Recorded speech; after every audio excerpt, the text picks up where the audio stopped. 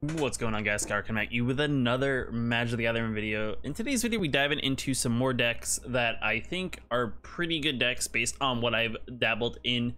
Uh, there's a, a, range of some of these decks that you will be seeing in today's video. Some of them are video decks that you probably have been playing against. Uh, there's definitely one in particular, uh, if my head's not blocking it, that is probably sticking right out you like a sore thumb and this deck is quite annoying but these are some other decks that i think are pretty good and there's actually one of them i think can actually counterbalance the one main deck as long as it's kind of built right. But with that being said guys we're just gonna be diving into all these decks. We're gonna kind of break them down kind of give you kind of an idea of where you know the meta is currently is for the uh, 2021 mtg uh, for post rotation i know this doesn't include zendikar. Everything can change with zendikar. We did get the release of two new planeswalkers uh, announced uh, Jace and uh, and Nahiri, with them being announced, it kind of sees where like this is going. You know, we got equipments and stuff like that, but unfortunately, right now with the way MTG is, that's kind of I feel like not where the meta is currently in 2021 rotation. Uh, Magic.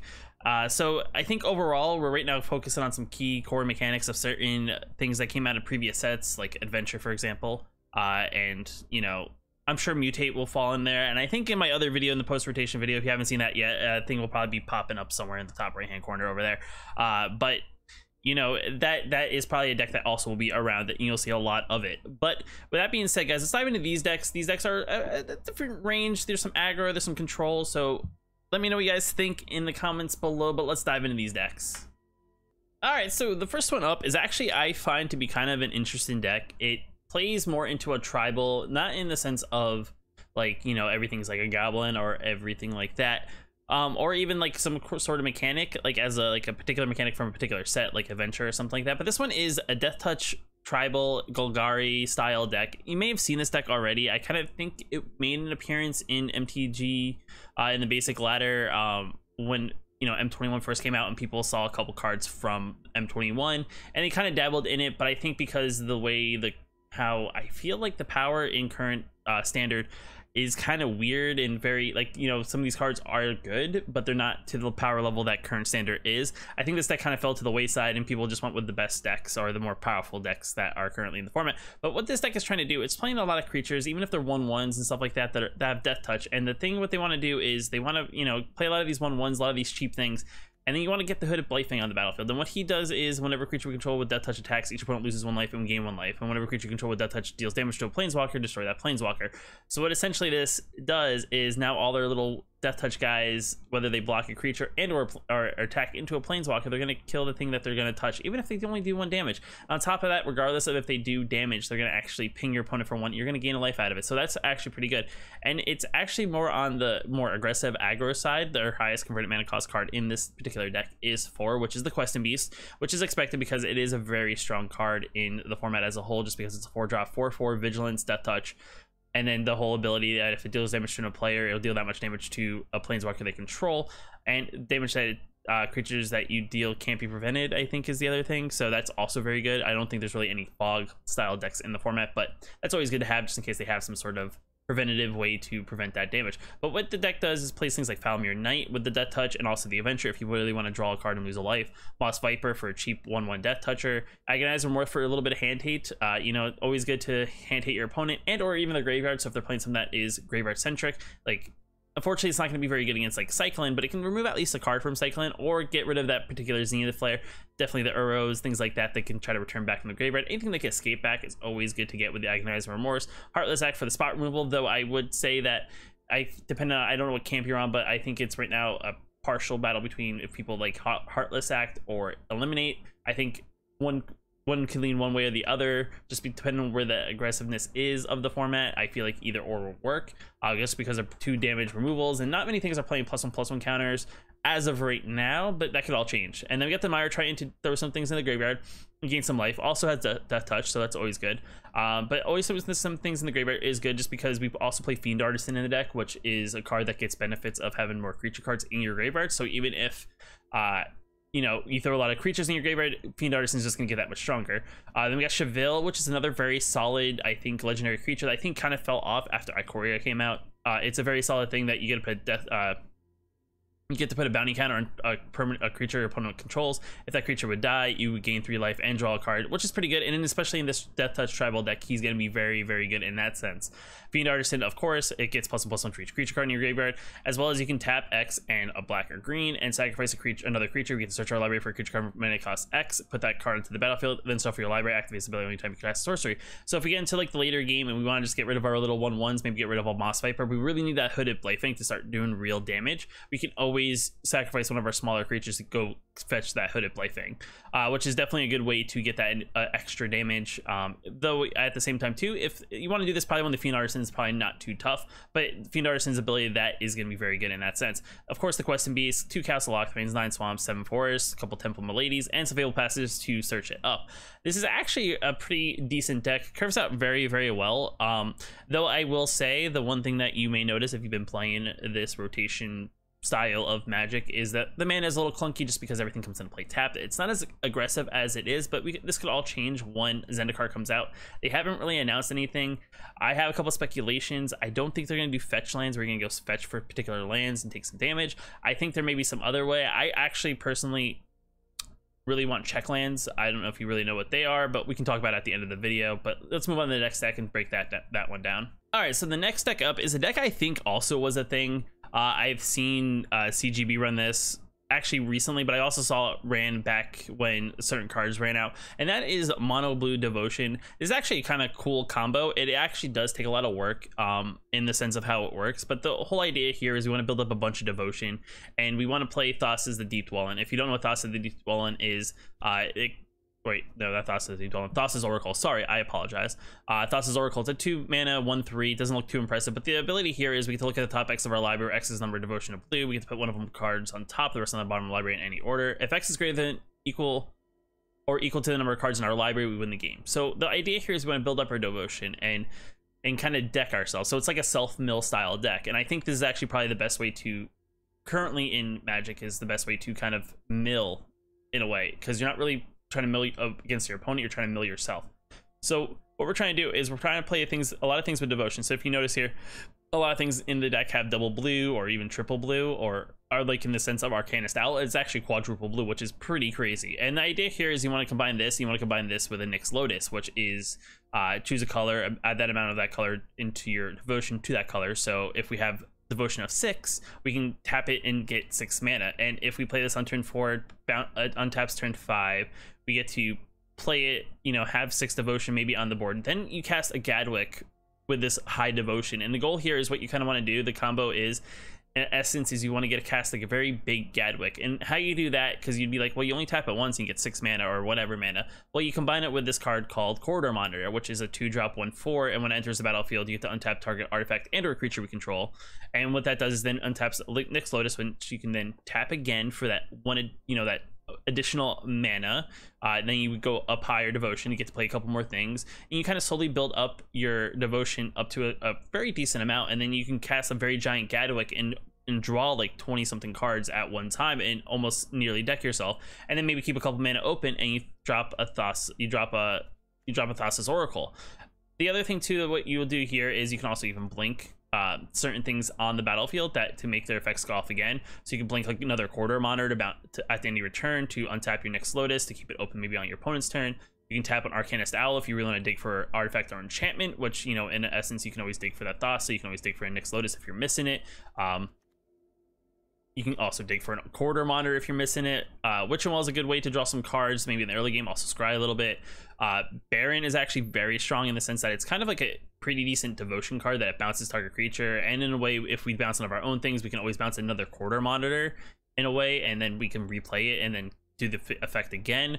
So there's definitely cool little interesting ways. And it's pretty interesting too when you get it right and you mill yourself uh, it does feel good in a way. And your opponent's probably caught off guard because they're like, oh, this person's just drawing a bunch of cards. But if once they figure it out, usually, typically, if you start milling yourself, you usually have the combo. They may just scoop the game and they realize what you're doing. But overall, this is a fun deck. It actually, I would say, it's on the inexpensive side. I mean, there are a few rares in the deck, of course, but these are some rares that you may have come across uh, in your playthrough of Magic the Gathering. Um, but I'm sure there's other things you can replace, but the goal here is we want to get to very high devotion. Uh, so this is definitely a fun deck. I think if you want to play something that's a little combo uh, centric, it definitely helps you kind of figure out uh, the intric- intricacies of how things work. Like this is definitely one of those decks where you want to play around with using full control because there's ways that you can get additional uh, additional taps for mana with the Nyx Lotus because like you play your corridor monitor, but before you untap it, you like tap it and you get that one extra mana. So it's like cool things like that that help you kind of trick around and kind of, you know, mess around with the whole uh, full control. But this is definitely a deck to check out. It's definitely cool. I will definitely have all the lists for these decks in the description down below. So in case you want to check them out, they'll be listed there. All right, so the next deck up is kind of a deck that I feel like has been bopping around in a way, and with rotation happening, it kind of like lost a little bit, but that deck is currently Gruul Adventures. And the idea here is you want to kind of like this deck takes advantage of playing like your adventure spells. You know, you're playing your Robber the Rich, or playing your Rimrock Knights, playing your Bone Crusher Giants, playing your Love Lovestruck Beasts, playing your, you know, get drawing cards with the Edgewall Innkeeper, and it has a couple little spicy things in there. But the idea here is like kind of aggressive aggro deck. And again, it's more on the mid like on the aggro aggressive side. So the goal here is to maybe get really get your opponent really low by turn four turn five swing it in with a big old ember cleave and finish the game. But the goal here is it helps you draw because the one thing that happened in in rotation is that you that this style of aggro lost its way to kind of scoop a little bit deeper and that is with um and that is Light Up the Stage. So the goal here is we kind of use Edgewall Innkeeper to be kind of our card digger, but the difference is that unfortunately these cards, when you draw them, they aren't kind of protected how they were with Light Up the Stage. But overall, the deck does play a decent amount of adventure cards to take advantage of the Edgewall Innkeeper. So the idea is you play your Edgewall Innkeeper on like turn one, possibly. That's really our only one drop. Then you can pl- always play like a Robber the Rich on turn two. You can always then cast uh, a Boulder Rush on something to you know pump something. But then you can also play the other side of Rimrock Knight to get the card from card draw from Edgewall Innkeeper. Uh, we have Scavenging Ooze for that graveyard uh, Eden, which is always good against Cycling and getting rid of those Ur pesky Uros. Bone Crusher Giant here, like I said, it's a very good card regardless. I think any deck that has red in it probably should just play Bone Crusher Giant just because of its double ability. Um, it's just that solid of a card with a two mana, two damage to any target can't be prevented, and the three drop four three. And if and they target with a spell, it you know deals two damage. Uh, Lovestruck Beast is in here for the one one and also the five five body. Uh, you can kind of work your way up if you really wanted to. I think you could also think about throwing in the nine mana artifact for this and you know getting that plus one plus one counter and the draw card every time you play a creature and also tapping it down for two plus two life and two green mana. That's a possibility. Questing Beast is in here. Embercleave like i said because it's the big finisher you know you get to turn three turn four then a lot of damage going that one big swing with like three or four guys. Throw Embercleave on like your Love Lovestruck Beast or something like that even your Scavenging Ooze. It by that point it could be game just the, your opponent might just scoop because once they see the Embercleave happen. Though it, I would say with the Simic Adventures that kind of ro rolling around, that is a deck that you got to watch out for because they can always Brazen Bar whatever you're going to target with Embercleave, yada yada yada.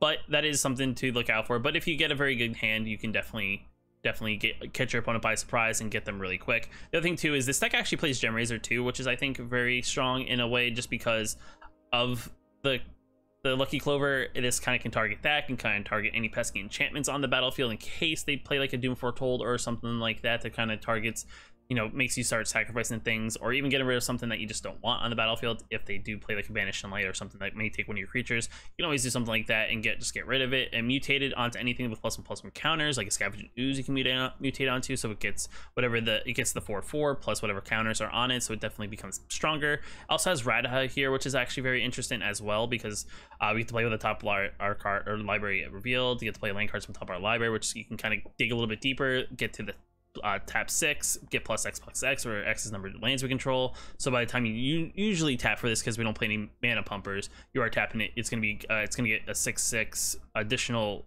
damage. So it's a nine nine. Maybe throw an Embercleave on it. 10 10 double strike trample. Definitely can finish off games right then and there. Like I said, this is definitely a very interesting deck to play. Uh, it is kind of like that mixture aggressive deck uh, it, it the one problem is yet again it gets a little slow and clunky sometimes. As you can see here, it plays more basics in this deck compared to more tap lanes, kind of like in the previous deck. Uh, in the way that so it can play more aggressive, you know, because nothing's worse than playing an aggro deck and having a land come into play tapped. Though it is always good to have a land come into play tapped and maybe scribe, but you know, especially in the early game, you want to play things on curve. You don't want to be, uh, you know, you know, turn behind in a sense of playing things because you had to play that one tap land. Also play some Fabled Passages to kind of fix your mana. Just because most of the cards, other than Embercleave and Questing Beast, most of the other cards are just single color uh, costs, other than the Radha, which is a red and a green. But everything else is just more of a one one of one color and colorless. So that's always good. But this is definitely a fun deck to check out if you want to play something a little bit more aggressive. I, it's probably not in the same ballpark as current Gruul in current standards because you're missing very very strong cards that just make this deck that much better. The other thing too is you can always play, uh, which I'm very surprised isn't here and it isn't in here, but you can always play the Serpent just to you know play a thing that has reach and trample already, and you know you can always you can always mutate onto there. I think it's always a safe play, but I think this deck is trying to utilize by more so playing adventure card adventure creatures to get cards with Edgewall Innkeeper. Just trying to keep like your hand full at sometimes. But I would say play around with it, make it kind of unique to your yourself. But this is definitely a good, good deck to start with, maybe, and kind of branch out from there, depending on how the meta shapes out. But this is a fun deck regardless. So the next deck up is a very interesting deck, and this is a deck I briefly mentioned in the sense of just one particular card. But this is pretty much Esper Doom Foretold. Uh, and if you don't know what Doom Foretold is, it's pretty much an enchantment here that at the beginning of each player's like upkeep, that player sacrifices not only permanent, non-token permanent. If that player can't, they discard a card, they lose two life, you draw a card, you gain two life, and you create a 2-2 knight creature token with vigilance, and you sacrifice Doom Foretold. So the idea here is in a way, uh, so what Doom Foretold is to kind of like if your opponent's playing something slow or maybe they're not playing very aggressive board, that pretty much forces them to sacrifice the permanents they physically have on the battlefield until they can't. And in a way, I think a lot of times too is a lot of times people don't want to people just want to keep on playing things on the battlefield because they never want to feel behind. And you know, I, I feel with the way the current meta is, it does play slower, so it does definitely play into what Doom Foretold's trying to do. And this deck is just playing a whole bunch of things that I think are you know very very good and i think this is definitely one of those decks that could combat the the simic mutate uh the simic mutate the simic adventures deck that is currently floating around in the meta for 2021 magic and the idea here behind it is is my thinking is that they're also kind of in a way playing more responsive magic in that they're not really playing too too much aggressively. They're kind of playing more reactive in the sense that they want to make sure they get their lucky clovers. They you know they want to get their Edgewall Innkeepers are setting up for their Lovestruck Beasts with the one ones. And my idea is that the, the one ones are tokens. The the innkeeper is a one one creature that you could always make them sacrifice to Doom Foretold, as well as if they play a Lucky Clover, but they only have a board presence, but they and they're maybe tapped out, they may have to sacrifice that to Doom Foretold. So it's a good way in that sense. And I kind of tweaked this in a way to kind of combat, you know, decks that you know utilize the graveyard and also try to return things back from the graveyard in a way because you can already see on the top of the deck list I actually played Tormod's Crypt in in main board because I don't really play the blue to get the Fae Wishes to kind of you know go search for it later and kind of return it and do it that way. So Tormod's Crypt is actually in the main board just to kind of combat possibly playing things like Cycling and or even decks that contain Uro or anything that tries, tries to return things from the graveyard. I feel like it's just good to, you know, just empty their graveyard on them. You know, it's always annoying when they have pesky things with, with escape. But, you know, we played Tormod's Crypt. There's Bith Meletis to kind of, you know, get some more Plains from our library, add them to our hand, kind of filter out that mana. Omen the Season here because it's always a good thing to sacrifice to a Doom Foretold, you know, get the draw out of it.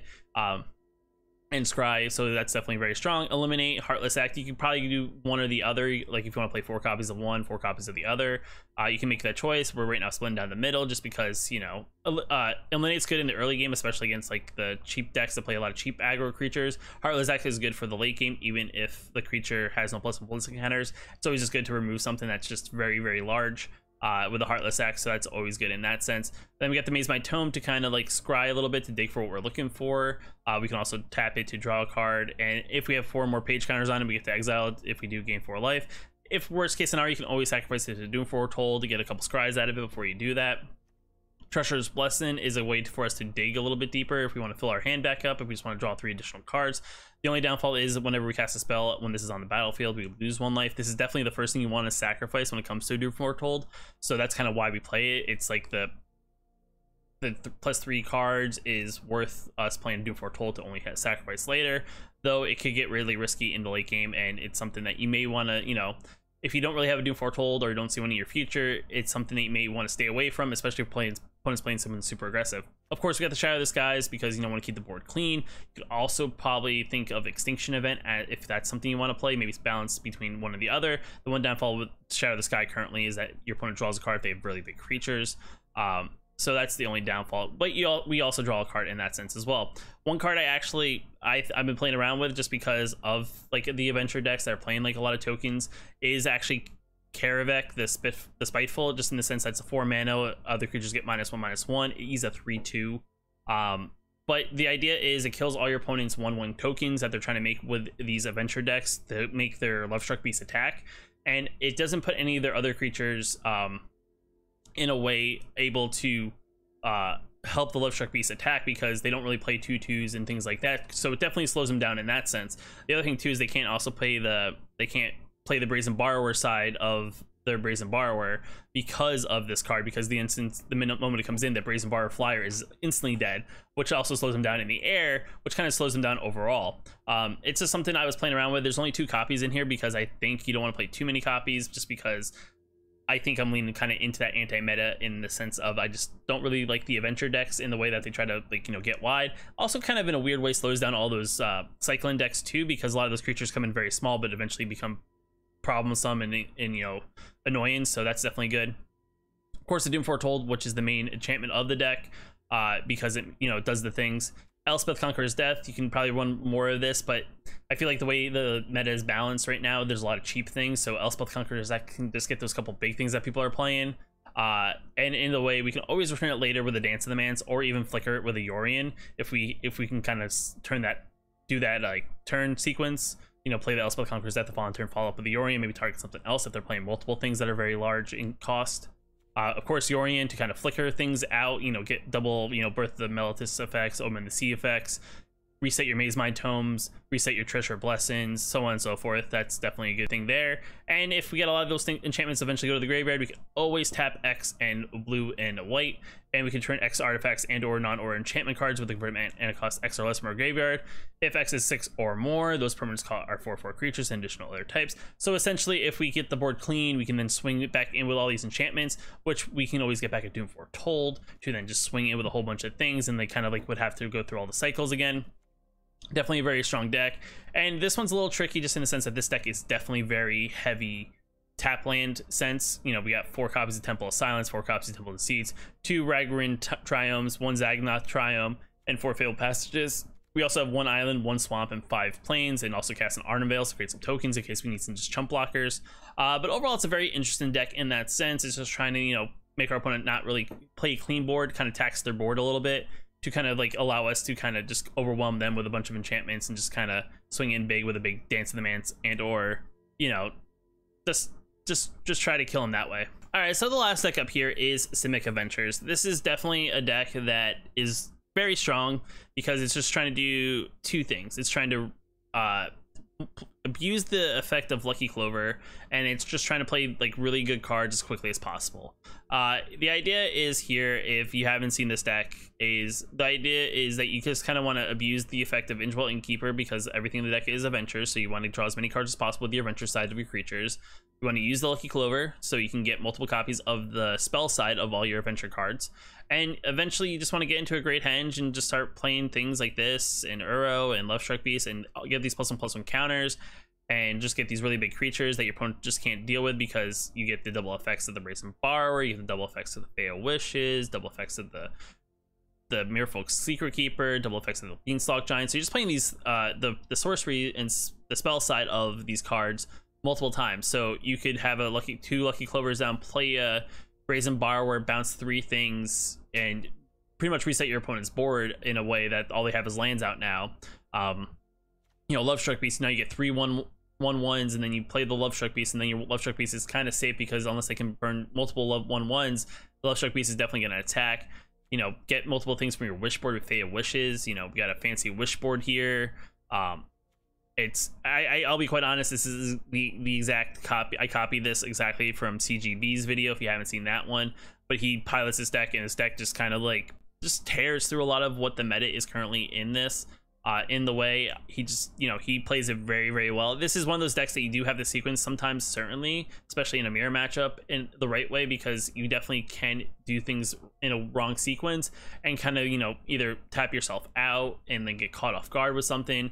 But if you get to what you need to and kind of like ramp up the proper way you eventually can just you know play a lot of this stuff get into your wish board which you know you, there's a whole bunch of things to kind of just overtake your opponent and just overwhelm them in that sense uh, you know tormod's crypt for the cycling decks miscast if you want to you know counter the decks that are very limited on mana, make them pay three, unsummon to bounce something back, Mystic Repeal to get rid of an enchantment on the bottom of the library, Shadowspear to make anything that you control trample, Ram Through to combine with your Shadowspear any of your creatures that are just very large, return to nature to destroy possibly a mirror matchup, destroy um, Embercleave, exile particular card from graveyard if you don't have a Tormod's Crypt, maybe you already used it. Sorcerous Spyglass, to lock anything down, neutralize as another counter spell, Sleep to just, which is a very interesting card they brought back, but taps down all your opponent's creatures once in the future to get anything back um, target card from your graveyard to your hand, put one on top of your target card on top of your graveyard on top of your library, exile once in the future. But if it lasts three green, instead return those cards to your hand, exile once in the future. So pretty much you can return two cards from your library to your hand,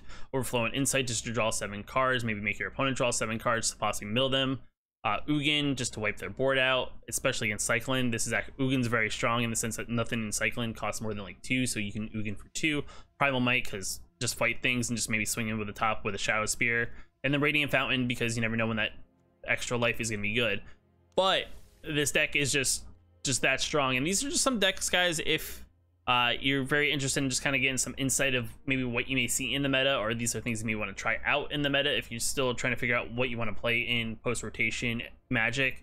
Uh, let me know what you guys think about these videos in the comments below if there's a video popping up on the side here, you can always click on one of those. I'm sure YouTube's trying to recommend you a video that's somewhat related to this video. It definitely helps out the channel if you decide to watch one of those videos. But if you like the video, hit that like button. If you want to know I post more videos, hit that subscribe button. But I'll catch you in the next video.